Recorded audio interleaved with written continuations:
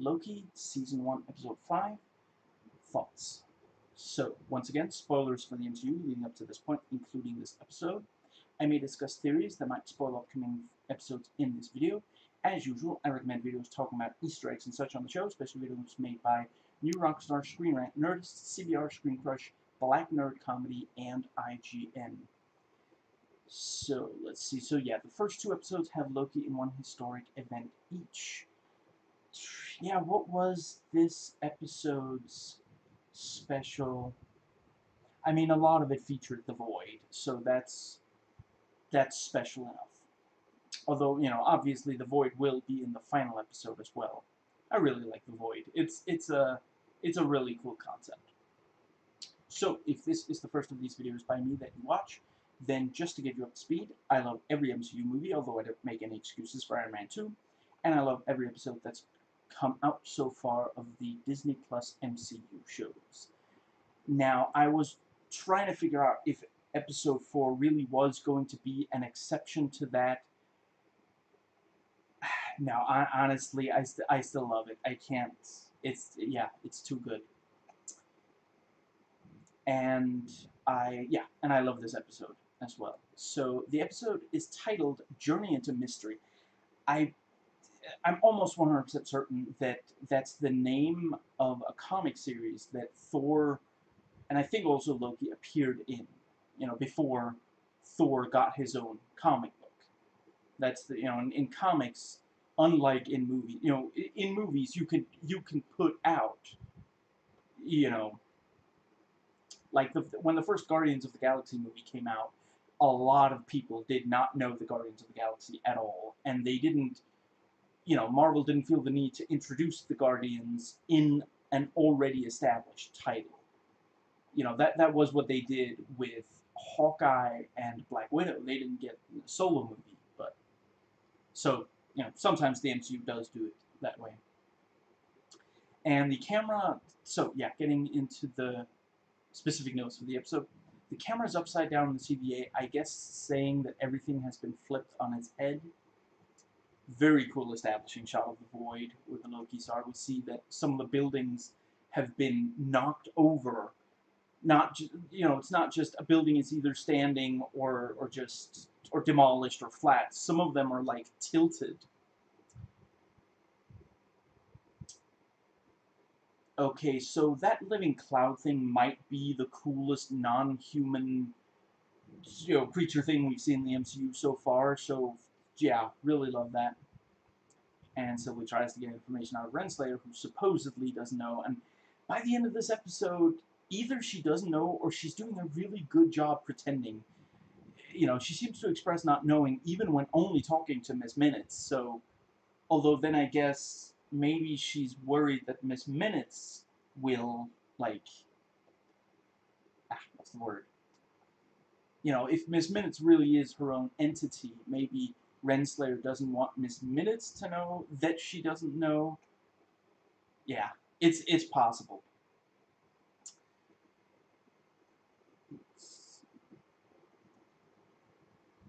And as the Lokis walk across the field, Crocodile Loki is on the ground and even turns to face 2012 Loki when 2012 Loki shouts.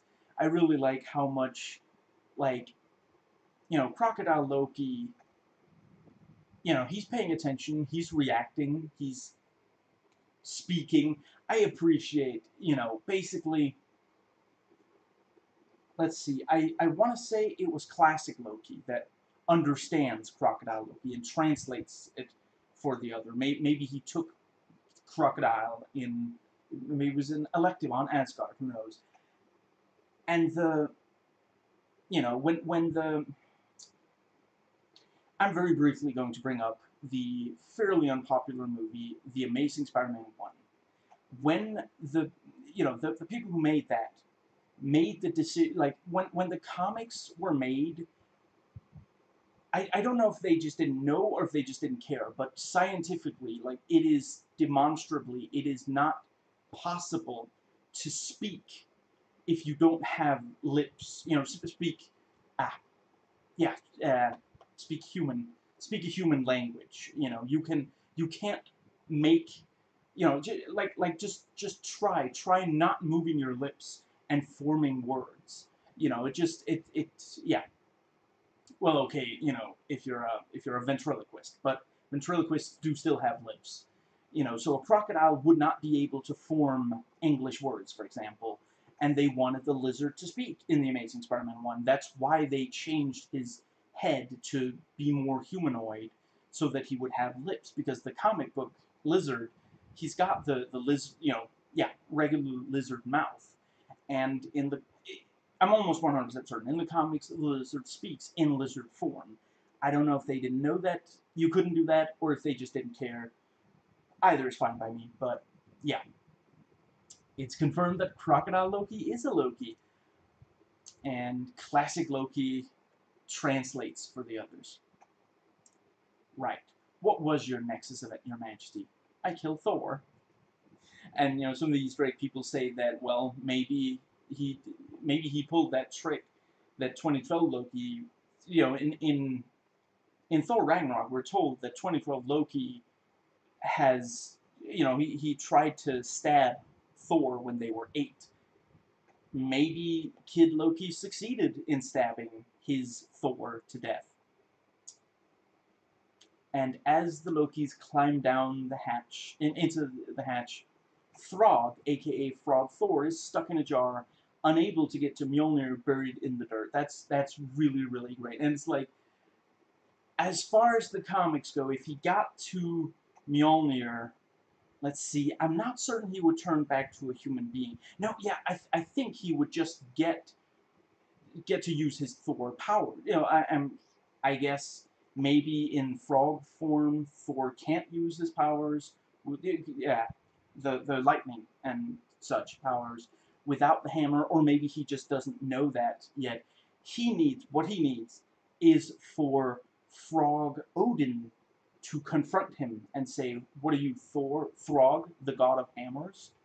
But that's a, that's, yeah, such a great Easter egg. I really, they, they are going far out there. The, the, some people have also spotted the, the Thanos copter in the void, so yeah, they really, that the, the most ridiculous parts of the comics may now appear in the MCU, even though some of them only in stuff like The Void. So apparently there is, you know, Thanos had a Thanos copter, and maybe only the copter, but maybe both were pruned in that version. If Desmond is down in that hatch, inputting the numbers to a computer, I'm going to be very annoyed and we see Miss Minutes again, and she has to search through the files going really far back because she has to go back to the start of time. And it seems like she can't get any shortcuts along, like, she has to go, like, alphabetically or chronologically or something. And...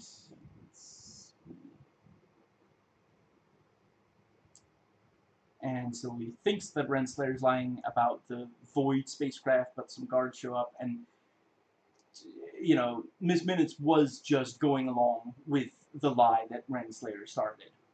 Searching, searching, still searching. File located. Oops, butterfingers. What? She has hands. And Sylvie prunes herself. She was just going to go there anyway. She just, you know, if there happened to be a void spacecraft for it, she would prefer that, but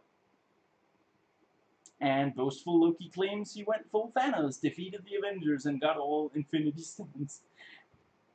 And none of the others believe him, not one. And Crocodile Loki was pruned for eating the wrong neighbor's cat. So classic Loki actually did what some people had guessed. He only pretended to die at the hands of Thanos in Infinity War at the start the adult Lokis, including Alligator Loki, he's he's soaking in, in the kiddie pool, are drinking wine or something, but Kid Loki has a juice box because he's not of age yet. I mean, okay, this is a world with magic and you know a void and and this giant creature that's like a, a cloud but there's not going to be underage drinking let's not get completely crazy here that would be unreasonable and, you know, the Easter egg people pointed out, the juice box he's got is like Ecto Cooler, and it's like Slimer from the animated Ghostbusters. If it lives, it dies. Hmm. Counterpoint, if it blows itself up, you'll have to get to the chopper. And, you know, 2012 Loki lays out his plan, and all of the Lokis, including, I think, Crocodile Loki, laugh at him. That's really, like... I've seen a lot of things in a lot of different movies, but I've never seen an alligator laugh. And President Loki and a bunch of other Lokis arrive at the hatch. I, if I had to criticize one thing, I would have liked more President Loki, but it's not impossible that he'll appear in the last episode, I guess. Yeah. And Sylvie's chased by Alioth, and she manages to. I mean, it was almost like by accident or by by reflex. She she enchanted it and found a memory, found the the castle inside of it, and that's how she knows for later. And Mobius drives Sylvie away, so this really is where everyone pruned goes, not only Loki's. You're one of you. And Mobius goes all like dad and get, he's he's like, you know, you really shouldn't get in a car with a stranger. And all of the Lokis betray each other, and Alligator Loki bites off Predator Loki's right hand. Very cool, massive fight between all the Lokis. And 2012 Loki's just trying to avoid them all and not fight. And Classic Loki really can cast a spell. Like, he gets a lot of the Lokis to fight his illusion. I mean, it's not like they don't know that Lokis can cast illusions.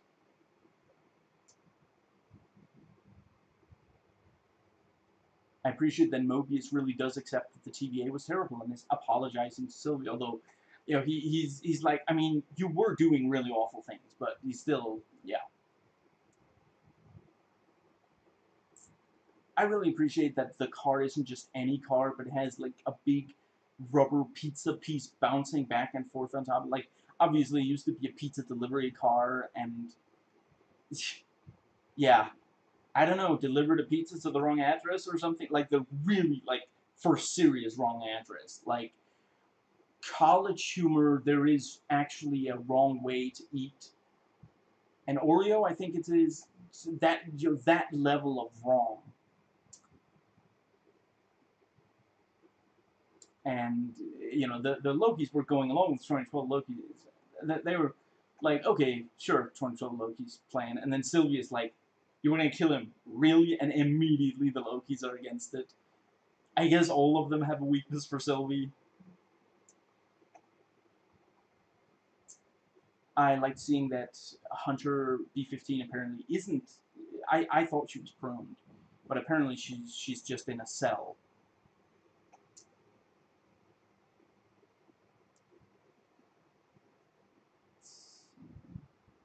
and Renslayer asks for the files, and Miss Minutes is going to work on it, but it is, you know, that's that's a mighty tall order. And Loki and Sylvie try connecting, and apparently, like, you know, the the one of these egg people pointed out that he's, you know, he claims to be cold, but he's a frost giant. He should be used to cold. So him, you know, using the the ah, I forget what it's called, but the magic to create the the ah, what's it called the the blanket for both of them. It's just an excuse to get close to her. And the the crashed ship of Ronan, the Dark Aster, is on the left side of the screen under the cloud when all of them are looking at the cloud. So that's really cool. And Mobius takes the time portal. What would you do with the TVA? Burn it to the ground. Thanks for the spark and Loki and Sylvie head for Alioth, and the other Lokis are not going near Alioth.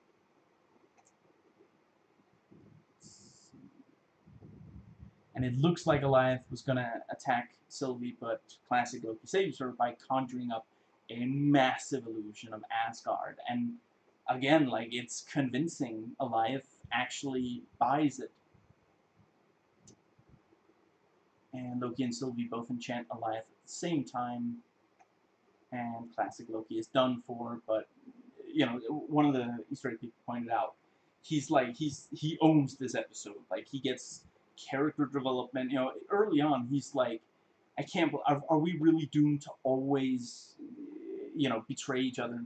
And, here by the end of the episode, he does exactly the opposite. He sacrifices himself for others. And Loki and Sylvie go towards Alioth and the building inside, and the episode ends. So, you know, in WandaVision there was talk of a vessel that could break through the hex and, you know, be useful in this really unique situation, and now in this episode, Renslayer pretends there is a vessel that could help in the Void, be useful in this unique situation. Does someone making these shows either really like that idea and someone else keeps shutting them down, or dislike the idea, and that's why it keeps not working out?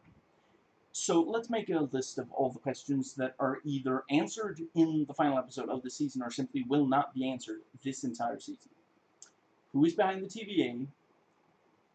Does Renslayer really not know? What exactly is Ms. Minutes? What are her limits? Does whoever is behind the TVA actually believe that they're doing good, or are they just seeking out a selfish goal, such as, for example, getting rid of all the Lokis? And if so, is it a Loki behind the TVA? Does the multiverse really not exist? Will it by the end of season one? Is Kang in season one of the show? Who is that hiding inside the cast inside Alioth? To be fair, that's probably the the answer. The answer to that's probably who is behind the TVA. That that would be a pretty good place to hide. You know, they're they're they're safe in there. If they can affect, I guess they might be a an exile of the TVA, actually. The, anyway, what Nexus event is it that Sylvie creates by her very existence? Is the TVA really inside the quantum realm? What, if anything, will happen if the TVA is disbanded? And the, on, on the TVA being inside the quantum realm, you know, it's been pointed out that if you look closely, you can see Chronopolis, Kang's city, of time inside the quantum realm in I'm almost certain it's Ant-Man and the Wasp. Not one of the, you know, that's, it does very briefly appear in the first Ant-Man, and it does, and I, don't we also get a brief glimpse of it in Endgame, but I'm, I'm, I believe it's Ant-Man and the Wasp. When, when, um, when Hank is, is traveling in there, in his craft, so the uh, and parts of Chronopolis look like the uh, right. What was the other thing? Part, uh, the magic, the the time portals, and other stuff the TVA uses somewhat looks, you know, the, they have similar colors to the quantum realm. I think those were the whole. So, yeah, but I'm I'm really excited for the finale. You know, so so let's see.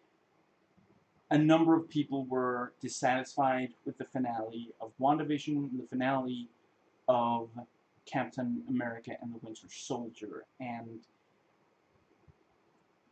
I guess I can understand why people were unhappy with the WandaVision one. See, to me, it's just yeah, okay, this is this is definitely an MCU finale. You know, you've got you know these massive battles. The the protagonist faces off against the villain, and you know maybe they have fairly similar power sets and and abilities.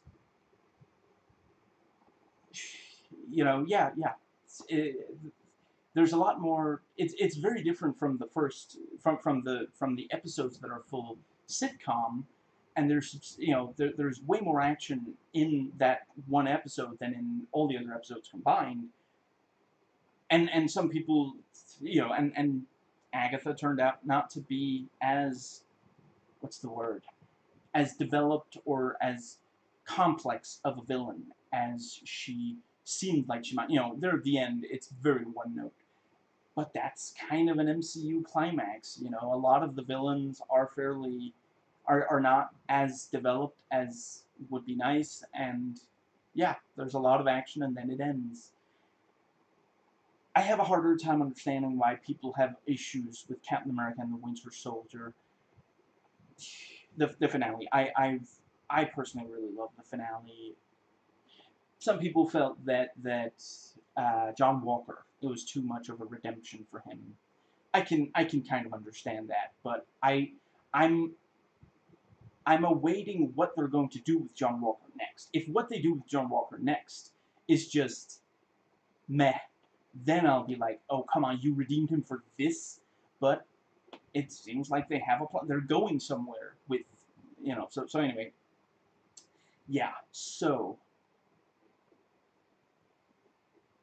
so it'll it'll be interesting to see if I love the the season one finale. There is apparently going to be a season two of this, but